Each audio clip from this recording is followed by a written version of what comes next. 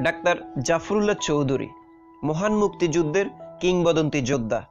রণাঙ্গনে ফিল্ড হাসপাতাল প্রতিষ্ঠা করে প্রাণ বাঁচিয়েছেন অসংখ্য আহত ও অসুস্থ মুক্তিযোদ্ধার। জাতির যেসব সূর্য সন্তান আজকের এই স্বাধীন, সার্বভৌম বাংলাদেশ গড়ার নেপথ্যে গুরুত্বপূর্ণ ভূমিকা রেখেছেন এবং রাজনীতির বুদ্ধিভিত্তিক অঙ্গনে ভূমিকা রেখে যাচ্ছেন, তাদের মধ্যে অন্যতম তিনি। উনিশশো বিরাশি সালে প্রবর্তিত বাংলাদেশের জাতীয় ঔষধ নীতি ঘোষণার ক্ষেত্রে তিনি গুরুত্বপূর্ণ ভূমিকা পালন করেন। অবশ্য আমি ডক্টর জাফরুল্লাহ চৌধুরী স্যারের বর্ণিল জীবন নিয়ে ইতিমধ্যে একটা এপিসোড তৈরি করেছি।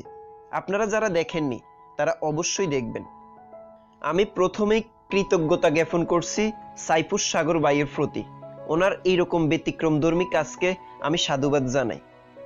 আজকের এপিসোডে আমি আলোচনা করব সাইফুস সাগর বাইয়ের লাইভের হাত ধরে ডাক্তার জাফরুল্লাহ চৌধুরী সাহেবকে নিয়ে জনমনে যত প্রশ্ন ও সংশয়, তার উত্তর দেওয়ার।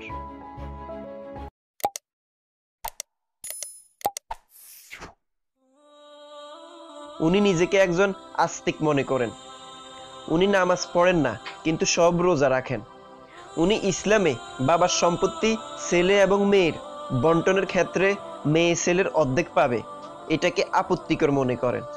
উনি রাসুলুল্লাহ সাল্লাহু আলাইসাল্লামের স্ত্রীদের উদ্দেশ্যে যে আয়াত নাজিল হয়েছে, যে আয়াতে রাসুলুল্লাহ সাল্লাহু আলাইসাল্লামের স্ত্রীদেরকে আমাদের মা হিসেবে বলা হয়েছে, সেই আয়াতকে রাসুলুল্লাহ সাল্লাহু আলাইসাল্লামের আল্লাহর তরফ থেকে চেয়ে নিয়েছেন বলে মনে করেন। নাউজুবিল্লাহ, উনি ইসলামকে মসজিদের মধ্যে সীমাবদ্ধ দেখতে চান। এবং ব্যক্তিগত বিষয় হিসেবে রাখতে চান। উনি মনে করেন, ইসলামের মধ্যে আধুনিকতা বা পরিবর্তনের দরকার আছে। উনার কাছে নারীদের বোরকা নিয়ে সমস্যা আছে। যদিও উনি স্বীকার করেছেন যে উনি আরবি ভাষা জানেন না। ইসলাম সম্বন্ধে ওনার ভালো জ্ঞান নেই।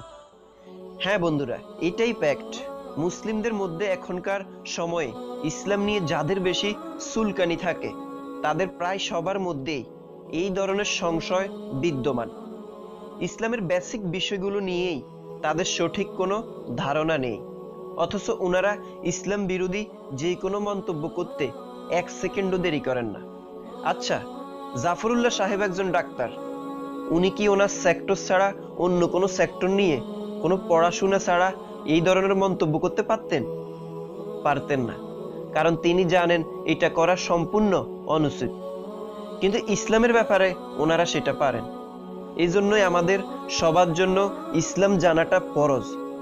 শুধু জানা নয়, জানার পরে সেটাকে শেয়ার করাটাও জরুরি। অন্যজনকে দাওয়াত দিতেও আমরা যেন এগিয়ে থাকি। মহান আল্লাহ রাব্বুল আলামিন আমাদেরকে সঠিক ইসলাম বোঝার তৌফিক দান করুক এবং সংশয়বাদীদেরকে হেদায়েত দান করুক। আমিন।